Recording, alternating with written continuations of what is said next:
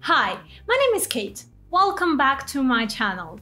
Instructions. We all need instructions. Even the ones who will try your AR filter need some. The second reason why instructions are important is because Spark AR team declines filters that don't have proper instruction.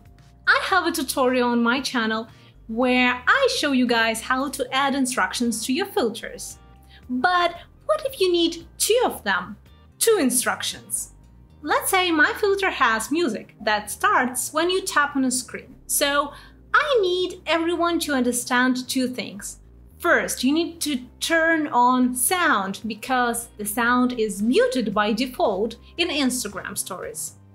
And second, you need to tap on a screen to play the song. Let's just break it down to you and me uptown.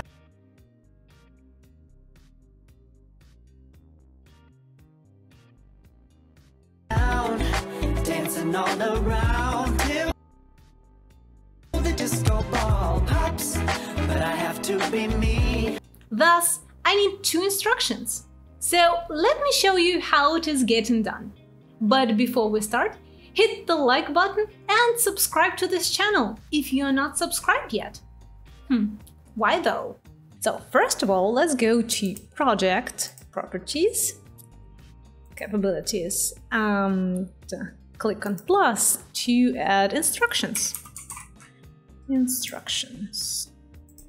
Open it, and here we have the custom instructions. Check this box. And now we need to add these instructions. So I click here. And for this filter, I need two instructions. First of all is um, sound, turn on your sound. And another one, tap, tap to play. Okay. Now, let me make it smaller. Uh, I open my patch editor Select this and just move it a little bit. Now I click on device and create the custom instruction patch. So I get this empty bar here. Token is the name of an instruction. Let's say I want to see the first instruction for 3 seconds and then the second one for another 3 seconds. So I start with my runtime patch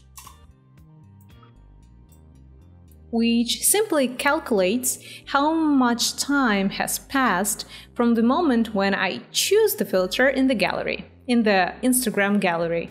Now I connect it with greater or equal patch and set this value to 3.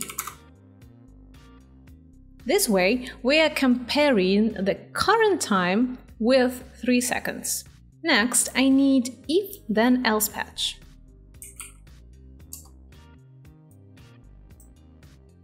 Okay, smooth it.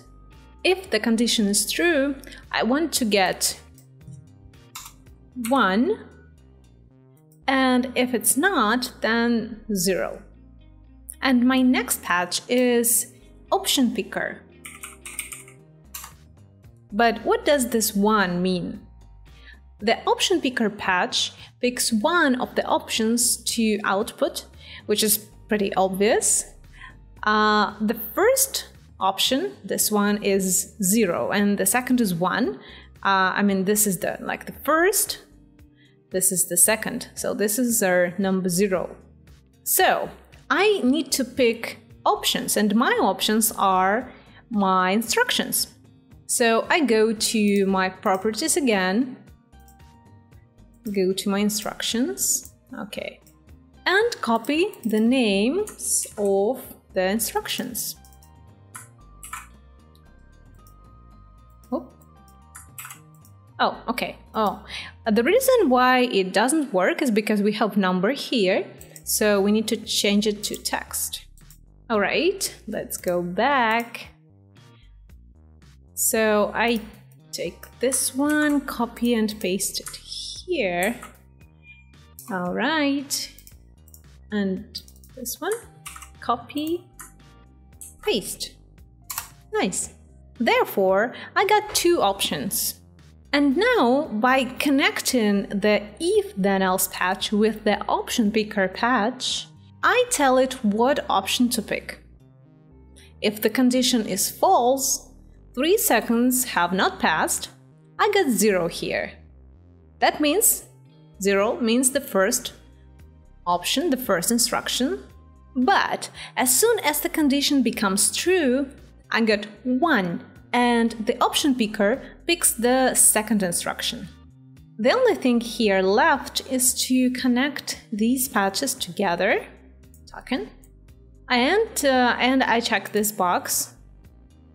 Okay, so let's test it. I restart my filter. So I see the turn on your sound and then tap to play. Let's do it again. One, two, three seconds, and then tap to play. Alright, do you see a problem here? I do. The second instruction stays forever. That's not cool. So let's fix it.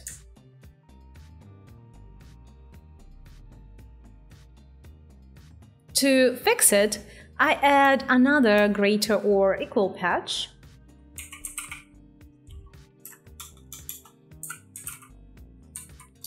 Hmm. Okay. And the if then else. But this time I compare it with 6 seconds. This way I got 3 seconds for the first and 3 seconds for the second instruction. Total of 6 seconds. I need to change the type of this patch to boolean. Okay. And check this box. Else. Okay, and our last step is to connect these two patches together. Okay, let's test again. So we see the first instruction, the second one, and it disappears. Nice! The first one, the second one, and nothing. Okay.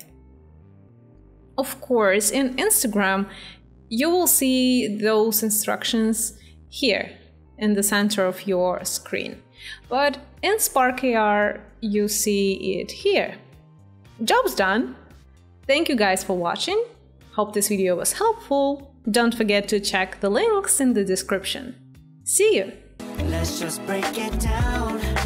You and me uptown, dancing all around till the disco ball pops. But I have to be me.